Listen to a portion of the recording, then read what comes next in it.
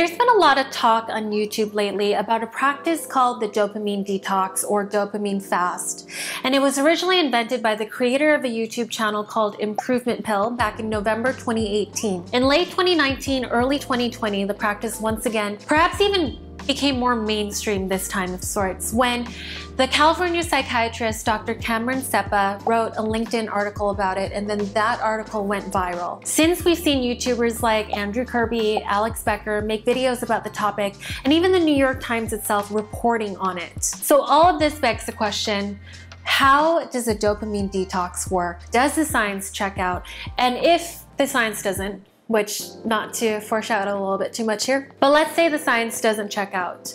What would explain the number of proponents this practice has if we can assume that they're not all making it up? I'm gonna get into this in this video today, but first, if you haven't subscribed already, please consider doing so because I make videos like this at least once a week and your support would mean the world. Dopamine is a neurotransmitter, aka chemical messenger in the brain that plays a vital role in many essential functions such as memory, attention, and motivation. Colloquially, however, we know dopamine to be the pleasure chemical or the pleasure hormone because it gets released every time we anticipate doing something rewarding or pleasurable. The evolutionary function of this, of course, is that this ensures that we are more likely to repeat certain behaviors that go on to ensure the survival of our species. Behaviors such as eating high calorie foods or mating, trying to keep this PG of course. And so that's why we find things like eating chocolate cake, playing video games, and you know, that highly rewarding and pleasurable. The problem is in our day-to-day hyper-connected lives,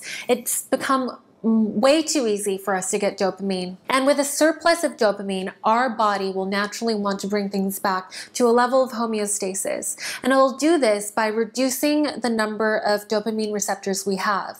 Fewer dopamine receptors means less dopamine is absorbed into the system. With fewer dopamine receptors, the things that we require to function as healthy and contributing members of society, things like going to the gym or paying your taxes or even getting your work done. These tasks can become increasingly difficult from the perspective of somebody whose dopamine system is out of whack. And so the practice of a dopamine detox goes, or at least the logic of it goes like this, that if for a certain period of time, if you were to avoid pleasurable activities or rewards for let's say a week or two, you will allow your body to regulate its dopamine system back to the way things were prior to your stimuli overflow of eating chocolate cake every day and playing video games too much. You know, things we do in our day-to-day hyper-connected lives. I should also mention social media is also one of the biggest culprits and in so many ways. You know that feeling you get when you don't check your phone? That behavior is akin to the behavior of an addict craving his drug. So from the way that I described it, this practice kind of sounds like it makes sense, doesn't it? At least at a very high level. In application, you get a whole range of different ways in which the practice is applied. Everything from no technology after 6 p.m. on Sundays to no technology, no games, no delicious foods for a week every three months to even some people for an entire month taking it upon themselves to avoid eye contact with other people and flash photography.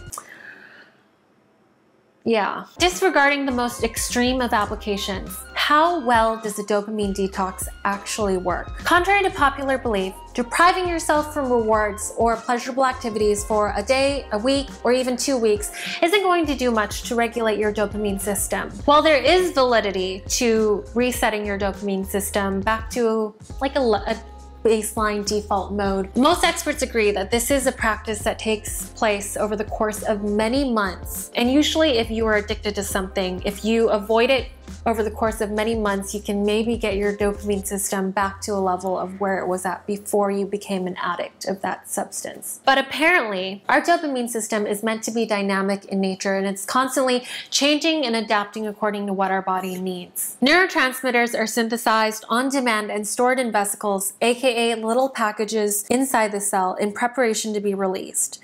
According to neuroscientist Dr. Kim Hellemans, if the cells are firing, they are released, and more will be synthesized in preparation.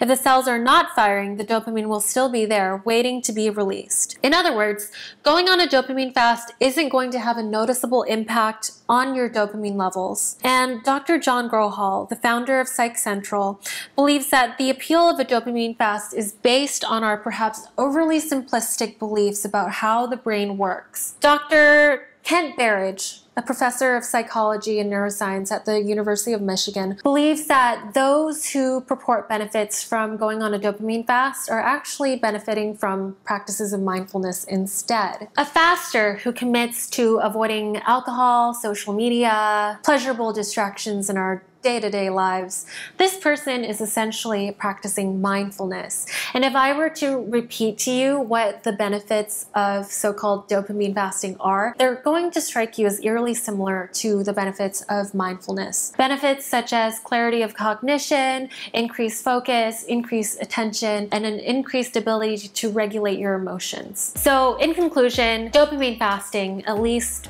based on the parameters that we've been given. This won't do anything to regulate our dopamine system. And regulating your dopamine system is really something you should only be concerned about if you are addicted to something, even social media. If you've gotten to a point where you have an internet addiction, for example, then practicing more mindfulness in your life and having extended periods of avoiding the stimuli that you're addicted to that's gonna do you some good.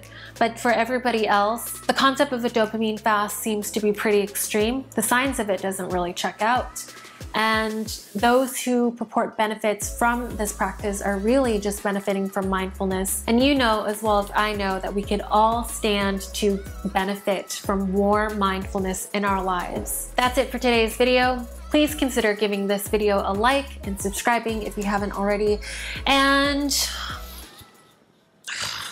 say, my back is killing me. Did you hear that? I think I'm gonna go get a massage, which ironically is not something that I'd be able to do if I were to truly go on a dopamine fast. But if I wanted to do breathing exercises and ground myself into the present moment while getting a massage, I'd be able to do that.